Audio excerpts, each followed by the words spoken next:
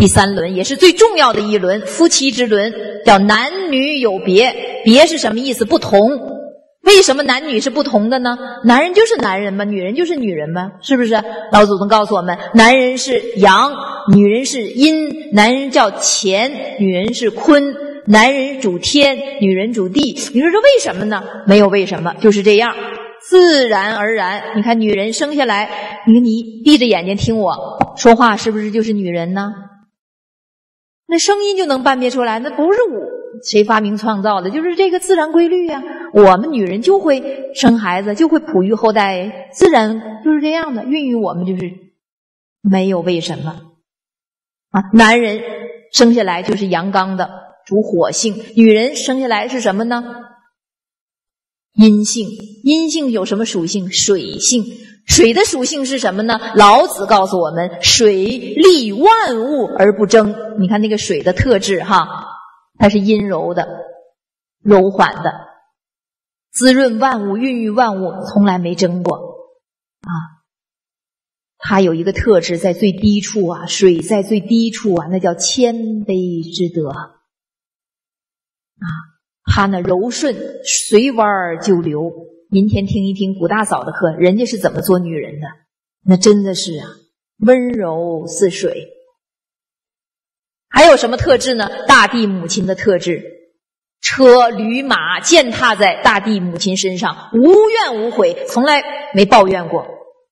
甚至最脏的屎尿拉在他老人家身上，把它变成最有养料的东西，生发万物，孕育万物，何等德行！这个就是女性。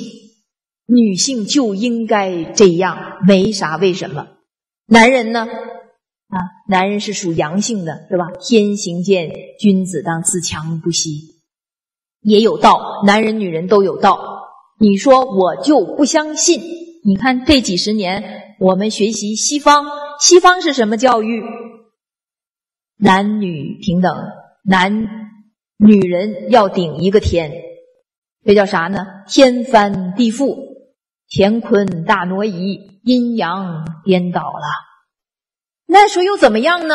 你看我以前就这样啊。我一跟我们同学朋友在一起说话，都是亲爱的宝贝儿。我觉得我心里住着一个小爷们儿，我是纯爷们儿，他也是纯爷们儿。他说我们之间都是哥们儿，我们真的是爷们儿。我做那事儿也是爷们儿，还打架呢，还是骂人，啪啪给人几个嘴巴子。哎呀，太吓人了！我现在想想自己。那你说这个又怎么样呢？天翻地覆，大家想想是怎么样？早晚反作用力会来找我们。我跟大家讲，三年之前，我一个好朋友给我打电话，那个时候我刚接触传统文化，学了也就不怎么扎实，刚学女德，什么是一个做女人的样子哈？刚听完老师课，还没怎么落实呢。我那朋友给我打电话，说：“亲爱的，我结婚了啊。”你怎么又结婚了？你不是半年前刚结过婚吗？这是离了啊，离了。这个怎么样啊？这挺好。以前那不行，以前那大男子主义，打架我们俩吵架还打我，不行。这回这个好，这个全听我的。我说怎么听你的？给我洗衣服，给我做饭，给我买菜，还给我捶肩揉背。哎呀，这男保姆啊！我说啊，对呀。他说那个什么都包包了。我说那你干什么呀？我就负责赚钱呗。呀，我说你俩颠倒过来了。我说，他说就是一一样事情就不怎么合我心。我说哪样啊？如果他能够替我生孩子的话，那我就解放了，那就更完美了啊！我我天哪！我说您这个错了。我说亲爱的啊，姐们儿，我告诉你哈，您这叫天翻地覆，乾坤大挪移，阴阳颠倒了。这种事情，老师说了，警察不来找你，反作用力会来找你。你最后身体会不健康，家庭会不和睦，诸事会不顺利，给他气的。行行，你别说了，你你都中毒了，你你就整那封建迷信，完了骂我封建迷信。那个，行，我不跟你讲了，你认认玩哎呀，我一想，心浮气躁啊，良药苦口，忠言逆耳啊，谁能跟他说这实话呀？也就是我们这好朋友呗，是不是？谁不愿意谄媚巴结？哎呀，顺着你说挺好，挺好，祝福你啊，好嘞呗，百年好合，完了吧。我这说点实话，人不爱听啊，我心里话了。为啥人不爱听？因为我没做到啊！我有过之而无不及。因为我对我老公也这样，我在家翘二郎腿，给我倒杯茶去。我想吃什么，给我做去。我也这样，所以我没有资格说人家。那个时候啊，我刚刚开始学习，就是女德，我还不大习惯，我这脾气不怎么好。哎呀，老师说要恭敬啊，你这个赶紧从那个天的位置给人让出来吧，你是大地，你下来吧，女人快坐下吧。老祖宗说，男人就站起来了，啥意思？你快回到阴性的属性上，他回到那阳性的属性上，是吧？同性相斥啊，异性相吸，要不然你也是阳，他也是阳，呀，俩爷们儿，你说这不是一辈子吵吗？俩同性相斥吗？吵了一辈子还不知道为啥呢？打了一辈子，俩羊吗？他不愿意把那个羊的位置给你，如果他愿意把那羊的位置给你，就像我那同学似的，行了，他该洗衣服、做饭、打毛衣、生孩子，完了你去，你俩挺好。现在为什么我看阴性的人挺多呀？就阴柔的哈，那这世界也需要平衡啊。这个爷们儿似的女人太多了，这这这，我一想，我先别说人家了，我先做吧。我那个时候怎么先做的？我假模假式的回去，老师说了，从假也开始。你不不从假也不行啊！我习惯了。我说：“先生，您辛苦了。”哎呀，我我老公吓一跳。哎呀，你别这样，我这一身鸡皮疙瘩呀！你这你这玩意儿从一个天天上到地下，哎呀，我说假也要做。哎，其实挺不情愿的，拿那个鞋子给刷鞋擦鞋。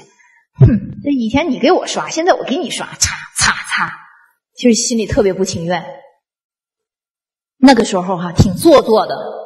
但是现在呢，假着假着就真了，习惯了吗？啊，你就必须有这个过程啊！你连假都没有，你说那怎么？你老是不去做，老是不去做，你啥时候回到这个阴性的位置上？那么现在呢，我也不怎么假模假式的了。但是从心里尊重老公是最重要的。有的时候我还是时不时犯病，这没办法，这这这一下子就就冲我老公。但是我马上就能意识到错了，对不起，我错了，我马上就及时的。跟他承认错误。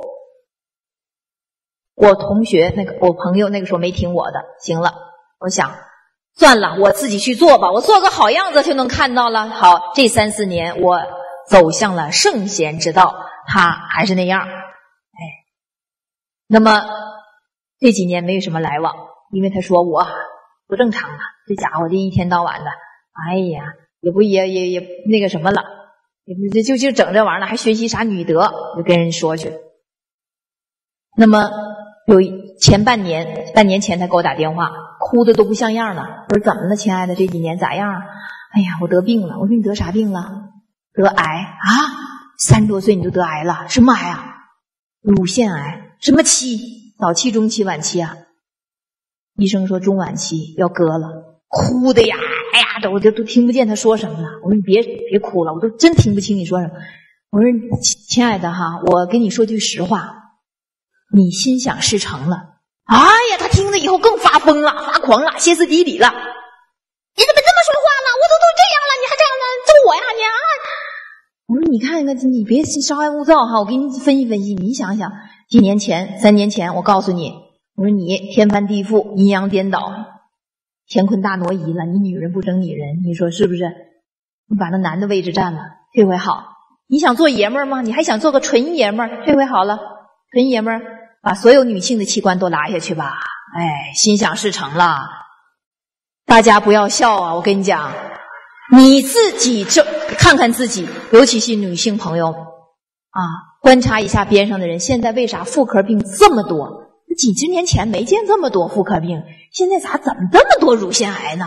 这么多卵巢癌，这么多这个癌那全是妇科病，什么子宫肌瘤这？你看看得这些妇科病的女性朋友，是不是按照咱老祖宗说的这个道在行，温柔似水？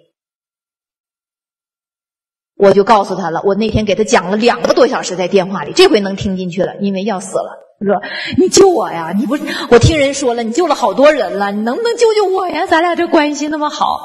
我说我也不是医生，我能怎么能救你呀？哎呀，反正我这玩意儿就完了，叫天天不应，叫我也不能告诉我爸妈，我爸妈听着得死了呀！这独生女呀。我说咱就试一试吧，按照老祖宗说这方法，是不是？我说我说话说话你别不高兴啊！说这不绝对不会不高兴。我说你不孝，我了解他，对他父母经常出言不逊，有俩钱儿吗？你非常不孝，从来很少看你父母去，把你的精力全用在你孩子身上了。第二，你对你先生，你们俩我早就说过了，前三年你女人不是个女人，你现在做男人了，反作用力来了，警察没来找你。自然规律来找你了，反作用力来了，你相不相信？你以身试法呀！我说你亲爱的，你看看我以前那个身体没你好，你看我现在身体啥样？我说你看你身上，我也我也没吃什么，我也没补什么，我以前净剩补啊，补这个补还补人参，还补那个补那，没用，补来补去，哎呀妈呀，还是一个豆腐渣，心坏了。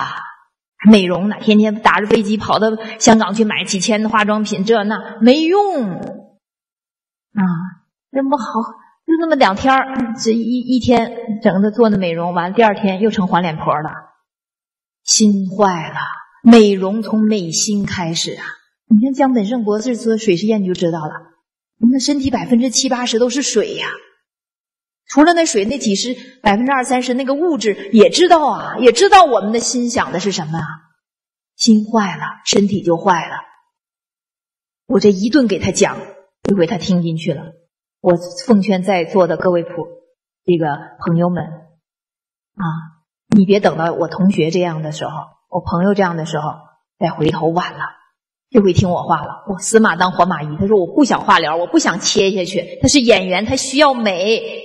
他怕疼，他痛苦死了，头发都掉了。化疗，我说你试试，我就给他送上了《圣贤教育改变命运》。我说你认认真真看，你不认认真真看这张碟片，这次我们结束哈，三天以后那个论坛结束也有这个碟片，大家回去一定认认真真看。他这回好了，好家伙，夜以继日的看呢，连续看了五六天，说明白了，六张六集的一个碟片。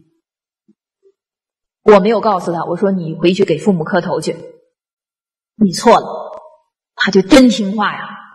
啊，我没有跟他说你跟你老公怎么样。我说你要作为一个女人，回归你的那个伦理道德，回归你的那个位置。他还给她老公去磕头去了。这这这这不是我教的。他看了《圣贤教育改变命运》，他想病好嘛？他这来了一个勇猛精进的心。半年也就半年。